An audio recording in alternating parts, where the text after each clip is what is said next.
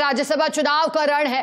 कांग्रेस ने अपने सभी विधायकों को कल जयपुर के लिए बुला लिया है। विधानसभा में नामांकन के लिए जयपुर बुलाया है। पीसीसी चीफ ने सुबह नौ बजे जयपुर पहुँचने के निर्देश दिए हैं। संभवत है कल ही कांग्रेस उम्मीदवार करेगा नामांकन दाखिल।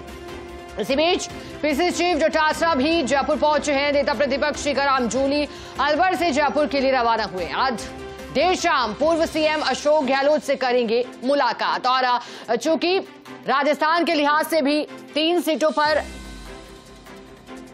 चुनाव होने हैं, राज्यसभा चुनाव के लिहाज से अब कांग्रेस ने सभी विधायकों को कल जयपुर बुलाया है।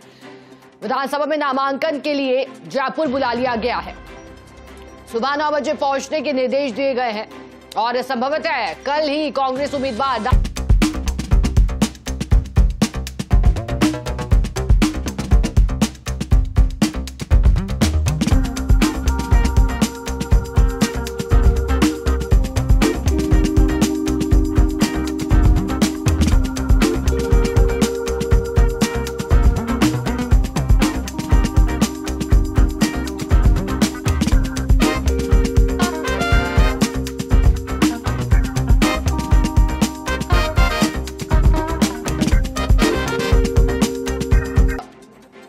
निकट ही है तो ऐसे में ये कोशिश की जा रही है पार्टी की कि विधायकों को एकजुट रखा जाए, साथ ही साथ जो नामांकन दाखिल होने हैं, उस लिहाज से भी सस्पेंस लगातार बरकरार है। राजस्थान से राज्यसभा जाएँगी सोनिया गांधी, ये भी जानकारी है।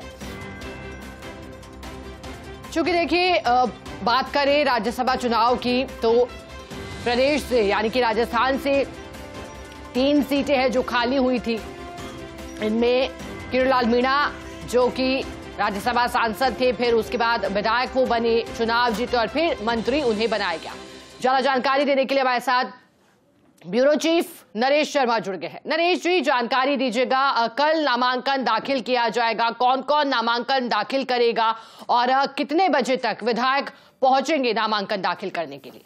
देखिए चूँकि तीन सीट है और तीन सीटों में दो सीट भाजपा के खाते में जाती नज़र आ रही है और एक कांग्रेस के झोली में आएगी। तो कांग्रेस की तरफ़ से लगभग तय हो गया है कि सोनिया गांधी जो है वो यहाँ से नामांकन दाखिल करेगी और जो हमें सूचना मिल रही है कल कल ही नामांकन दाखिल किया जाएगा और इसके लिए तमाम जो कांग्रेस के विधायक है उनको बुला लिया गया है जयपुर बुला लिया गया है। और 10 बजे तक जो है तमाम विधायकों को पहुँचने के लिए कहा गया है। हालाँकि स्थान नहीं नहीं बताया लेकिन संभवतः विधानसभा में या जो पूर्व मुख्यमंत्री अशोक गहलोत का जो आवास है वहाँ पे इकट्ठा होंगे। उसके बाद नामांकन पत्र है वो तैयार किए जाएँगे फिर नामांकन दाखिल किया जाएगा। हम्म। हालाँकि औपचारिक रूप से आधिकारिक रूप से अभी कार्यक्रम तय नहीं किया गया है। आ, लेकिन जो हमें सूचना मिली है कि पीसीसी गोविंद सिंह डोटासरा है वो जयपुर पहुँच गए हैं और पूर्व मुख्यमंत्री अशोक गहलोत से उनकी मुलाकात आठ सिविल लाइन्स पे हो रही है।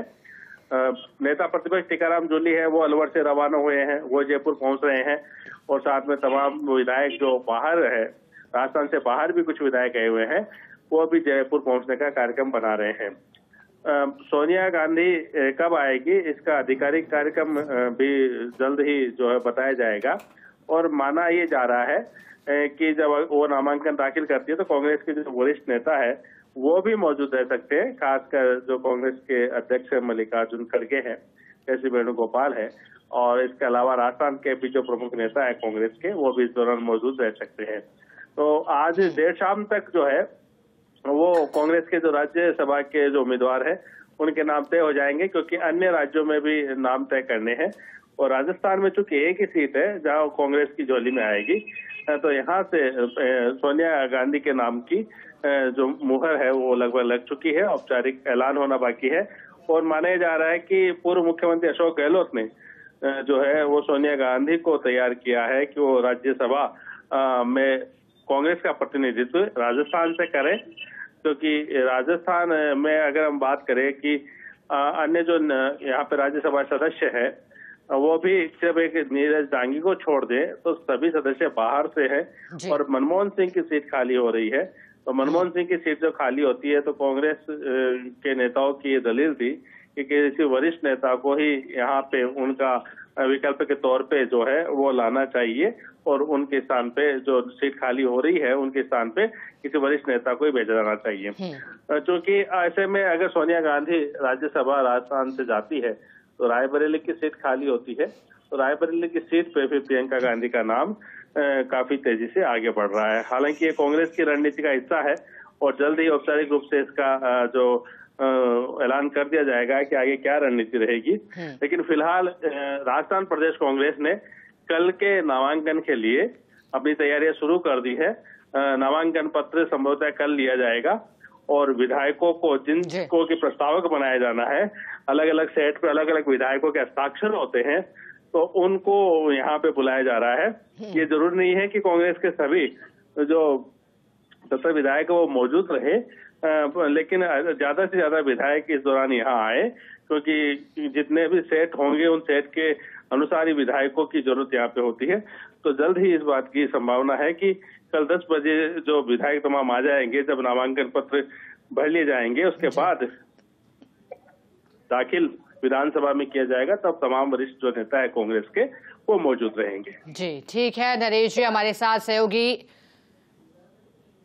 भी जुड़े हैं, उनसे भी जानकारी देंगे। आपसे भी जानकारी लेना चाहेंगे कि चूँकि राज्यसभा जाएँगी सोनिया गांधी तो ऐसे में क्या लगता है, अब सोनिया गांधी का नाम तो आ रहा है, लेकिन जैसा कि नरेश जी भी बता रहे थे कि तीन सीटों पर यह मुकाबला है, दो सीटें दो सीटें लग रही हैं कि खाते में जारी हैं बीजेपी की और एक सीट कांग्रेस के खाते में जारी है। लेकिन जैसा कि जब इससे पहले राज्यसभा चुनाव हुए थे, दिनेश जी तो तब भी मुकाबला पेचीदा रहा था। तो क्या एक बार फिर इस बार मुकाबला पेचीदा रहेगा? क्या तमाम सीटों पर उम्मीदवार उतारने की कोशिश में रहेगी पार्टी? दिनेश जी। जी, देखिए, एक तो सोनिया गांधी को है, लास्ट पिछले दो दिन में ही ये तय किया गया कि उनको राजस्थान से राज्यसभा भेजा जा सकता है। और 11 फरवरी को राजस्थान प्रदेश कांग्रेस कमेटी ने प्रस्ताव हाईकमान को भेजा कि सोनिया गांधी को राजस्थान से राज्यसभा भेजा जाए। अब सवाल है कि सोनिया गांधी ने राजस्थान को ही क्यों चुना? क्योंकि यहाँ पर एक सीट के लिए कांग्रेस के पास पूर्ण बहुमत है। विधायकों की संख्या कांग्रेस की सत्तर है और एक सीट जीतने के लिए कांग्रेस को महज इक्यावन विधायकों के वोट यहाँ पर चाहिए। तो मध्य प्रदेश से भी चर्चाएँ चल रही थी क्योंकि उन्होंने भी ऐसा प्रस्ताव भेजा था। लेकिन वहाँ पर थोड़ा विधायकों का जो आंकड़ा है कह सकते हैं बहुमत के हिसाब से रिस्की हो सकता था। तो ऐसे में एक रणनीति के तहत है वो राजस्थान को यहाँ पर चुना गया और राजस्थान में कांग्रेस लगातार लोकसभा चुनाव में अपना खाता नहीं खोल पाई है। तो एक ये वजह भी हो सकती है कि यहाँ से अगर सोनिया गांधी लड़ती है हम्म। तो लोकसभा चुनाव में एक बुस्टअप यहाँ पर मिलेगा। कार्यकर्ताओं का जो मनोबल और जोश है वो उनके राज्यसभा जाने से बढ़ेगा। तो ये कांग्रेस के रणनीतिकारों ने तय किया गया और कह सकते हैं कि राजस्थान के जो प्रस्ताव को है उन्होंने कांग्रेस कमेटी के स्वीकार कर लिया है लगभग और थोड़ी देर बाद या रात तक आधिकारिक रूप से जो कांग्रेस है अपने राज्यसभा चुनाव प्रत्याशियों ठीक है दिनेश जी